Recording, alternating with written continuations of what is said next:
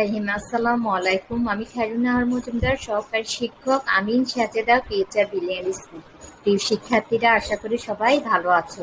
আজকের অনলাইন সবাইকে অভিনন্দন। আজকের অনলাইন ক্লাসটি হচ্ছে পঞ্চম শ্রেণি ইসলাম ও নৈতিক শিক্ষা পঞ্চম অধ্যায়। প্রিয় শিক্ষার্থীরা, আজকের আলোচনার বিষয় হলো পঞ্চম অধ্যায়, মহানবী সাল্লাহ জীবন দর্শন ও অন্যান্য নবী রাসুলের পরিচয়। চলো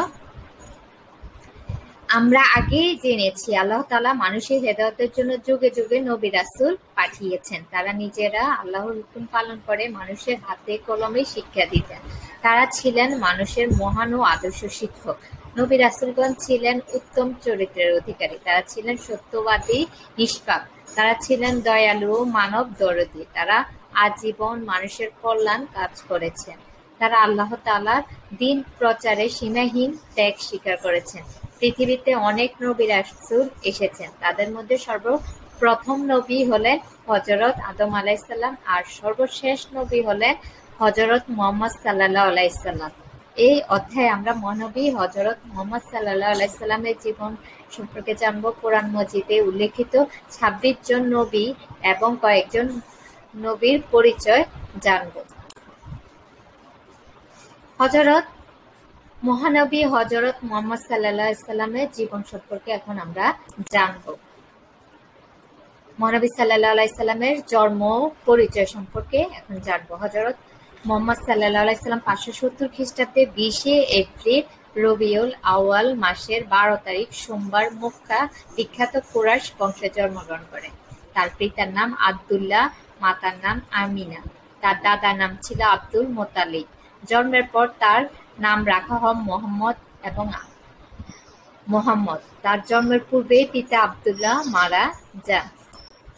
এখন আমরা জানব মহানবী সাল্লাহ সাল্লামের আরবের অবস্থা। মহানবী সাল্লাহ আলাইসাল্লামের জন্মের সময় আরবের লোকেরা নানার পাপের কাছে লিপ্ত ছিল। তখনকার মারামারি, কাটাকাটি, ঝগড়া, যুদ্ধ, চুরি, ডাকাতি, হত্যা, মদ, জুয়া ইত্যাদি নিয়ে তারা মেতে উঠত। এক আল্লাহকে ভুলে তারা দেব দেবীর পূজা বানিয়ে পূজা করত। পবিত্র কাবা এবং মূর্তিতে ভরে রেখেছিল।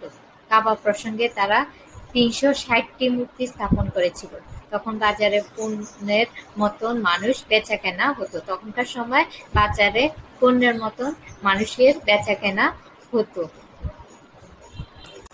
এখন আমরা জানব মনাফি সাল্লাহ আলাইসাল্লামের শৈশব ও কৌশল।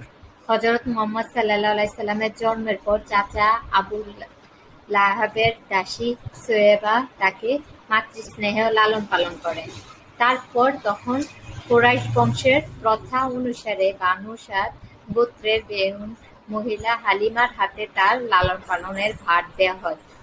সোয়েবা যদি তাকে অল্পদিন লালন পালন করেছেন, তবুও তিনি প্রথম দুধমা তার পরিবারের প্রতি খুব কৃতজ্ঞ ছিলেন।